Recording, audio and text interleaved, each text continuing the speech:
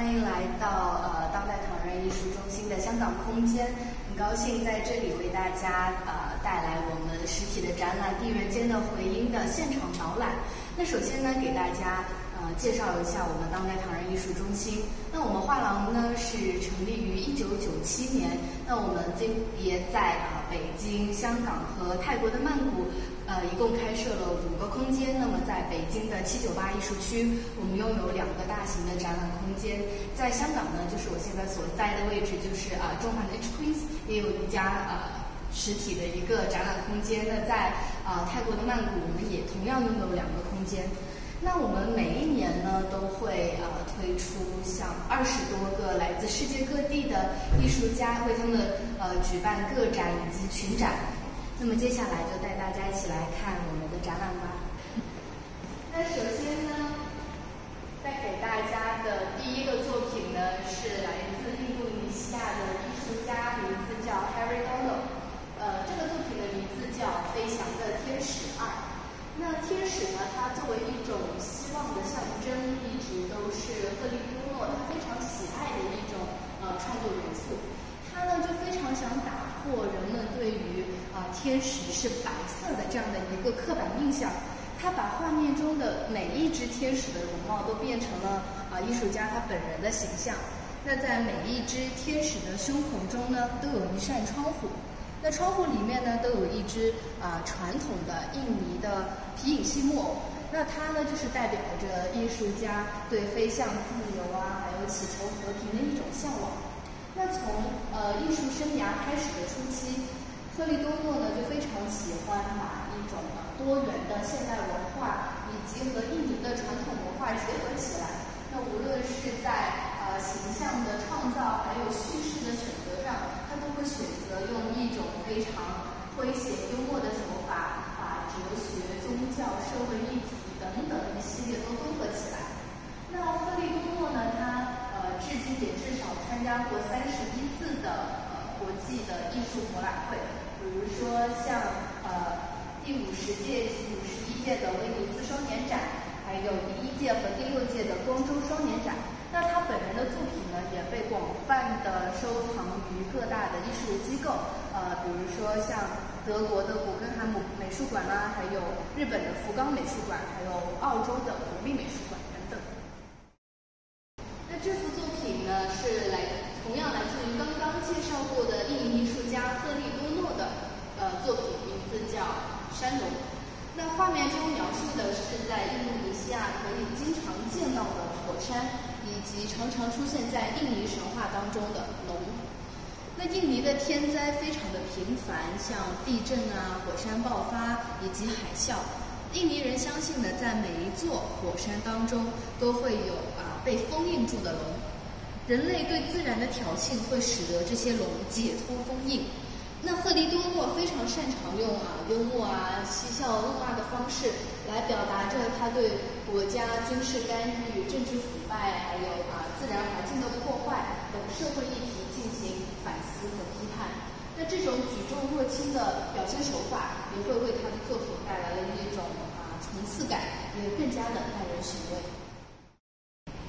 接下来呢，为大家介绍的是来自中国新疆的一位八零后国际新锐艺术家，名字叫赵赵，以及他的星空系列三件作品。那我身边的这两幅作品呢，都是属于真丝刺绣作品，而这一幅呢是布面油画作品。那星空系列呢，一直都是赵赵正在持续创作的一个系列作品。他们有绘画、玻璃装置以及丝绸刺绣等形式。我们可以看到这三幅作品的画面都好像被子弹瞬间击破，画面上都是各种各样的裂缝。那裂缝、碎片以及事故都是赵赵的作品当中非常频繁出现的主题。他认为呢，这些元素是具有不可重复性，都是现实留下的痕迹。它也代表着一个无限循环的破坏和创作的过程。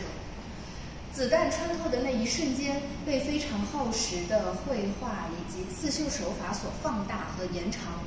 尤其是刺绣，这让赵赵回归了工作室，以非常传统的手工来进行艺术实践。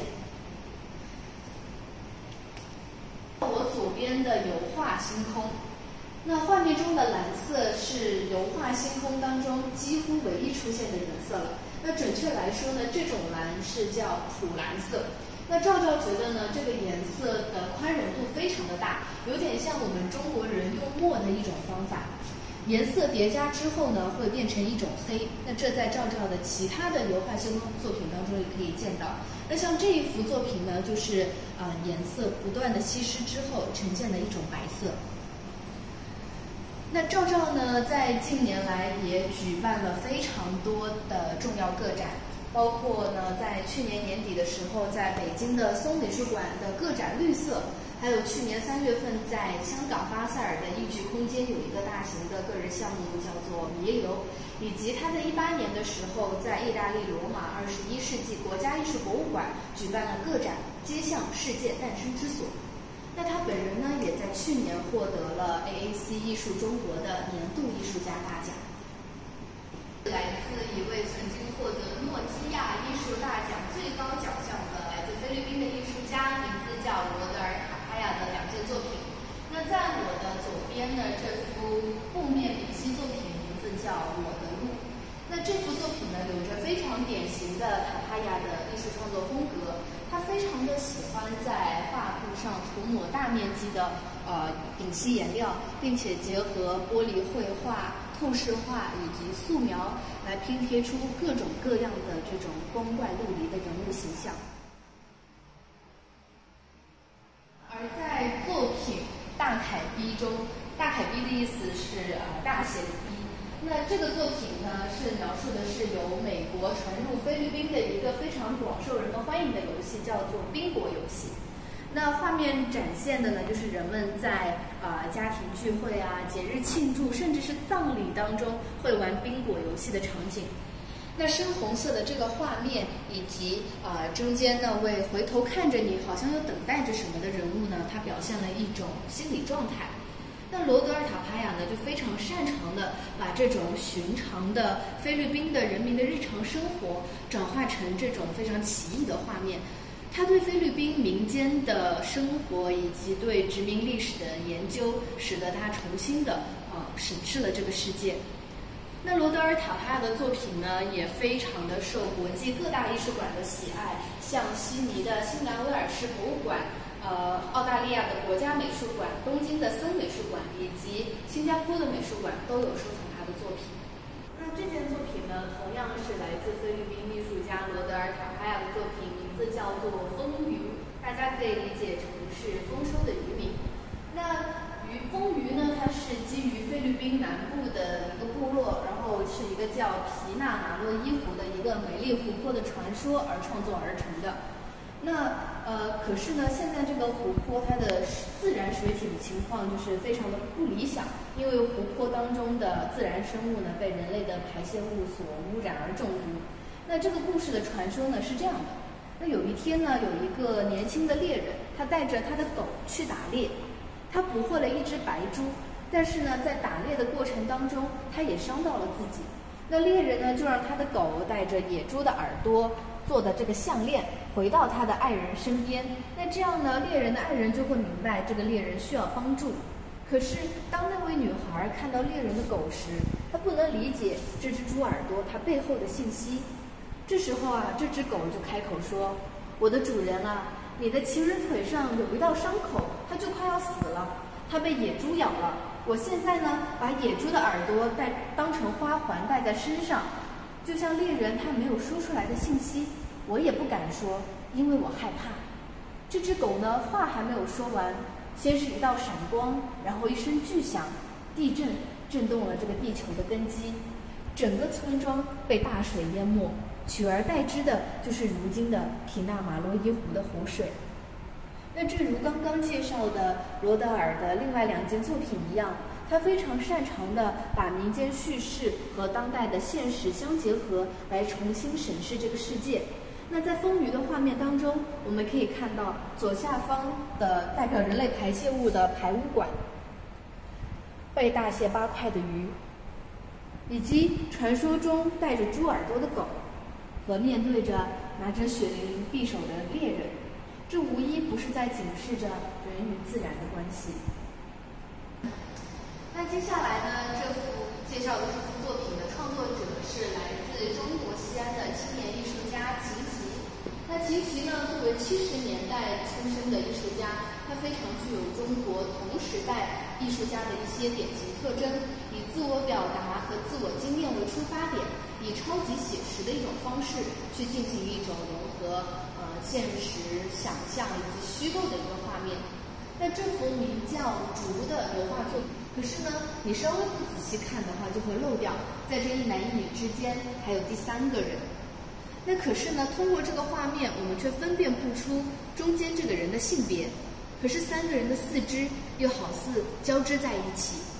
什么都貌似很真实，甚至是逼真。可是呢，它却是虚构的，而且呢，给人产生了一种不可理喻的一种迷局和困惑之感，也构成了这个作品啊荒诞不经的一种意味。那秦琪呢，非常擅长用这种啊带状的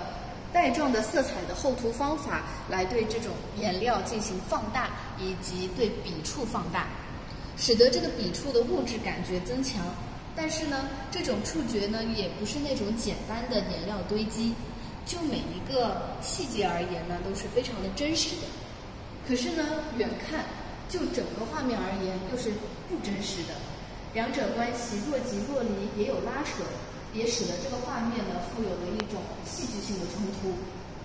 那秦琪呢，于二零零二年毕业于鲁迅艺术学院之后呢，一直留校执教至今。那唐人香港空间以及北京空间呢，也分别在二零一七年以及二零一九年为他举行了大型的个展。那他的作品呢，也同样经常参加国际性的呃艺术展览。那接下来呢，为大家介绍的就是很多人都很熟悉的中国艺术家陈丹青的呃两幅油画作品了。那这幅画的名字叫做《扮演亨利八世的老人》。陈丹青他本人具有很强的造型能力。那他的画风也很细腻，心思也非常敏锐，使得他的一种他的画面呢会呈现出一种非常啊稳定和深沉的力量。那陈丹青呢有将近五年的时间一直都在画人物写生。那他受到呃艺术家刘晓东的影响，他陈丹青呢他也周游列国啊画了很多写生。他在意大利和英国都画了许许多多的老外，那数量呢超过三十多幅。这种半即兴写生呢，对他来讲，啊，更像是一种自我训练。那这幅画呢，就是陈丹青在伦敦的时候画的。那画面上这个浑身戏装的约翰先生，他是呃伦敦一家书店的雇员，身材非常的壮硕。那他呢，同样有另外一份职业，就是去学校里面为孩子们扮演亨利八世。那他呢，听说陈丹青要画他，老人呢就穿上了亨利八世的全套的行头。旁边呢，站着亨利八世的六任老婆，他们呢都是一排盛装的牵线木偶。但是呢，在这个画作之外，这位体重接近两百斤的老人呢，他现实生活里面他并没有六位老婆，那他唯一的夫人在前几年就已经去世了。可是后来呢，他慢慢的发现了自己的真实的性取向，并在后来他拥有了一位丈夫。可是从此之后呢，在现实生活当中，这位老人的孩子就慢慢的疏离了他。那这幅作品的名字叫做《呃，成化阁与梵高之二》，它是三联画的油画作品。那我们可以看到，在这幅画面当中的上方是一排中文的碑帖，而下方是日本的浮世绘以及西方的名画。在物质匮乏的上个世纪六十年代的中国，那个时候的学画少年呢，他们只能用各类的涂录的印刷品啊来进行描摹和学画。那如今呃四五十年过去了，画笔、画布甚至是颜料都已经不再是稀缺品。那陈丹青他回顾这么大半生的创作经历，他觉得。年轻时候的那种稚嫩，甚至是天真，是他弥足珍贵的一种创作经历，也是不可替代的。他常常说，啊，他当年临摹的时候，他对着这些经典想，哎呀，原来你们都是这么画出来的。可是如今，他再回过头来去美术馆看这些经典的时候，这些经典仿佛在对他说：“走吧，去画你自己的画吧。”那我们多数人呢，对陈丹青的了解都起源于他当年名震四方的油画油画系列，叫做《西藏组图》。那么这么多年过去了，陈丹青也早已成为了油画界响当当的大人物。那时至今日呢，也有很多人存在着一种啊陈丹青的情节，他对很多的社会事件还有啊社会现象都有着非常冷静和犀利的批判和思考。那他呢，也同时被推崇为呃影响中国的五十位公共知识分子之一。那去年五月份，我们当代唐人艺术中心的香港空间为也为他举办了大型的个展，叫做“装扮与写生”，这也是陈丹青啊首次在呃大型的画布上进行现场写生。那在去年的年底呢，我们唐人的北京空间第一空间和第二空间也同步推出了陈丹青迄今为止最大的个展，叫做“退步：一九六八至二零一九”。最后要给大家介绍的挂在墙上的两件作品，同样是来自于印尼的艺术家，他的作品呢非常的奇特，乍一看色彩纷呈，有着波普艺术的特质，非常吸引人们的目光。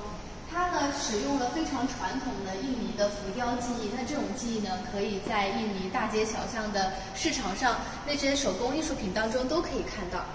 但是呢，你走近仔细一看的话，这个作品呢，它充满着性、暴力、死亡、生命等等沉重的命题。传统民俗呢与流行和超现实主义的结合，一直是恩唐维哈尔所艺术作品当中非常重要的标志。就好比这幅名叫《裹尸布没有口袋》的作品，它用非常生动的视觉语言来展现了当代人们对于呃爱恨情仇、狂热的宗教主义，甚至是意识形态意识形态的感知和理解。而在作品《旗帜下的阴影》中，展现了恩唐对于他的祖国的社会政治条件一次深刻的个人检视和思考。那这个浮雕呢，它通体使用的都是铝颜料以及呃聚聚氨酯涂层和树脂浇筑而成的。那画面中间的这个质朴而原始的，就是一个爪哇的神话人物。这个作品的构图非常的谨慎，甚至是手法多样，那也使得这个作品呢，在精神层面上非常的独具一格，充满着滑稽的歇斯底里。